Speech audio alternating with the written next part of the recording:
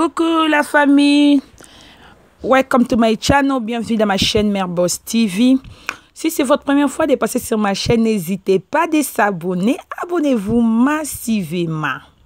je dis bien massivement mpo basabonaka kaka oklike na cloche ya notification à chaque fois soki mare bos tv atie video ya sika okozanga te kozwa notification ke mare bos tv akotisi video ya sika merci beaucoup na baabonné na ngai nyonso tout bolike bopartage eh, esalaka bien pourquoi pas kokommente mpe eh, temps notanga mpe bakomante na bino esalaka ngai mpe kaka bien hmm? voilà lelo video namemeli bino ya kitoko mike kalambai papa bokilo kofi babala kaka edidi stone mpe mwasi kitoko mm, mwasi kitoko oponi mpe mobali mpe mm, mobali mpe kitoko hey. tomoni na video lelo na fete moko je sais pas so fete yango ezalaki wapi tomoni mike kalamba ye wana aoso na, na kofi olomide e eh, mona olongola son mpo natyela bino boyokaka mpe ndenge azoloba oh. bato namoni na bacommentaire bato bazokomantele kuna place natalaki ngai chez marie lor namoni bato bazokomante bato bazoloba hey, eh, seke babalani seke balingani hey, eh, seke bazalaka seke baza boye oh, tandis ke baza bastar bastar ya makasi lokola sivio oyombola grâce motema ya judas capitan nde mpe bango baa bastar bamai kalambai mpe bastar donc fo balobelaka bango donc soki esimbaki te nde balobelaka te Mike Kalambay aza célibataire et puis Didi Stone célibataire donc aza déjà over 18 donc esa leki 18 ans donc Mike Kalambay pa kobala ne pe ye eh. po tomoni nde na papa bokilo kofi e hey, yoka lisolo yoka no lisolo elengi te nde kofi azosimba buta yoka yala i i kofi asimbi tala sana pa bokilo boye kitoko makasi gu hmm? bon tosolola siko mike kalambai azalaki mobali ya peniele lelo bakabwana atikala papa ya bana ebo eske eza mabe so lelo tomoni mike kalambai lelo abali na ye didiston eza yango mpe mabe te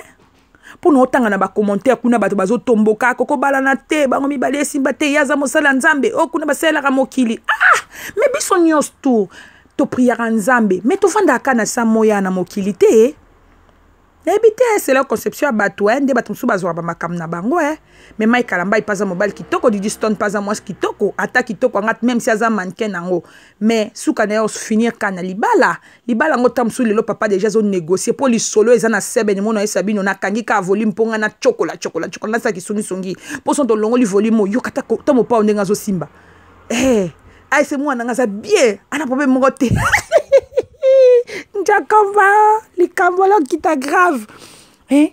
babalana na bango esa mpe biso kaka bien bandeko na nga na bacommentaire nayebi ke bato mosusu kuna bakoloba emati ekiti mpo niveau mike kalamba ya simbi kiti ya, ya didiston atiki kiti ntina mokongo aza kokonze kaka mokongo mokosana ngai ya mokongo naboyi bakwanza yango na atonge ma e eh, aza kokwanze kaka mokongo e eh, bandeko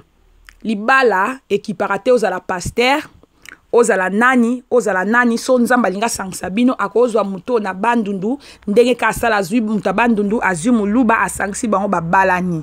Eh, même si Mike Kalambaya est pasteur, aza, aza pasteur, Didi Stone aza mannequin, papa na aza, aza musicien. Eza ma BPT, bakoki na mopeko lingana. bakoki na mopeko balana mais pourquoi bato bazotia bacommentaire bazoloba kaka ke yo aza mabe mike kalambay aza mabe aza bo aza bo bino mokati mike kalambay oyo ndenge abetaka abetaka abetaka peniel soki ameki obeta mwana kofi boye me eh, me bakobunda na nzoto te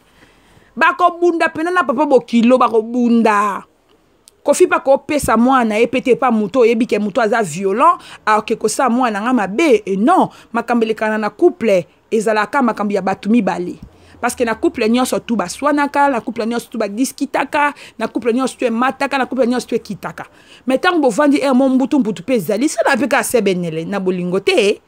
eh, papa bokili azokotisa kaka causerie morale kaka aza kokotisa se kokotisa morale kaka ta dilisto ndenge azosala ta bino mobotala eh, mwana azalaka na charisme moko ekwe moto ekwe ebende hmm? tala ata kofi nde baobeta bakuli na maboko kaka boye na, na, na mike kalambai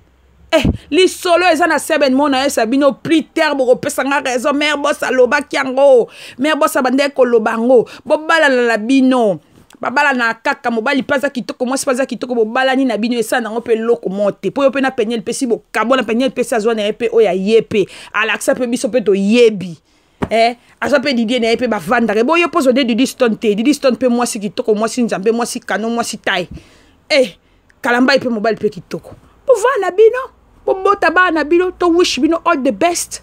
bon voilà oyo nazalaki nango mposa yango wana naye kosala mwa kishishi moke kaka kishishi nde mpo ngai aza songisongi yango nayaki topartage mpe na babone na ngai oyo mpe amonike ye mpe aza songisongi lokola ngai otyeli ngai mwa commentaire Chez moi commentaire, il get coup d'autre m'a dit HK, moi Simbiji, moi Sinzambe. Voilà les lotos ça ah wa Sivio Yombo la grâce hein. Voilà les lotos là là non, na tchela bien au moins mukie. Bolanda na nubo mona pena ke kozeri o ezaki tellement makasi. Eh Marceline Kambi mama yoji kozeri elekaki makasi mingi. Voilà na longola nanu voilà bino mo bomoni bolandi mpe mwa moke na tyela ya bino kozere ezalaki tellement makasi mingi oyo mopao azokotisa mobala mopao aza koexplike na ngai na bino tozocomprendre te juste ngai nasala analyse na ngai mpona kolanda bacommentaire par rapport ya bato nde basexprime bato nde batiki bacommentaire bon voilà tati motei ya yo yango wana mama set niveau marceline ekambi mama yoji sivio iyombola grace eh, business woman mwasi ya makasi soldata makasi alembaka te ya judas capitao mobala bilamba ebele ebele ebele je vous aime beaucoup nabosani te mon mari fidèle patron dido babizu ebele ya bino yango wana bizu ciao